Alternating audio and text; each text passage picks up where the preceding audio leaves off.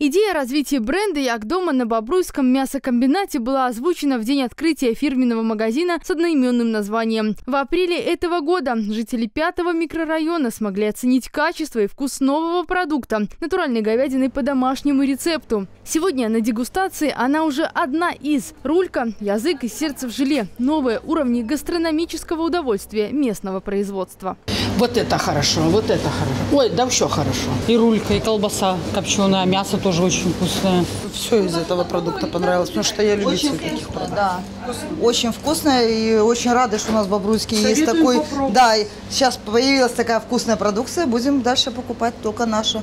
Гостиница «Бабули» – теплое название с таким же теплым посылом. Сыровяленая колбаса высшего сорта, по-настоящему деревенскому рецепту, в топе новинок, но уже тоже на прилавках магазинов Бобруйска, Минска и Могилева. В составе это натуральная свинина с добавлением черного перца, тмина и мускатного ореха. Абсолютно вся линейка «Як дома» имеет очень приятные ароматы э, и вкусовые качества. Напомним, «Як дома» – это продукция с акцентом на отсутствие добавок и всякой химии. Приобрести и попробовать новинки можно в фирменных магазинах. В перспективе брендовые торговые объекты появятся в шаговой доступности во всех районах города с еще более широкой линейкой товаров.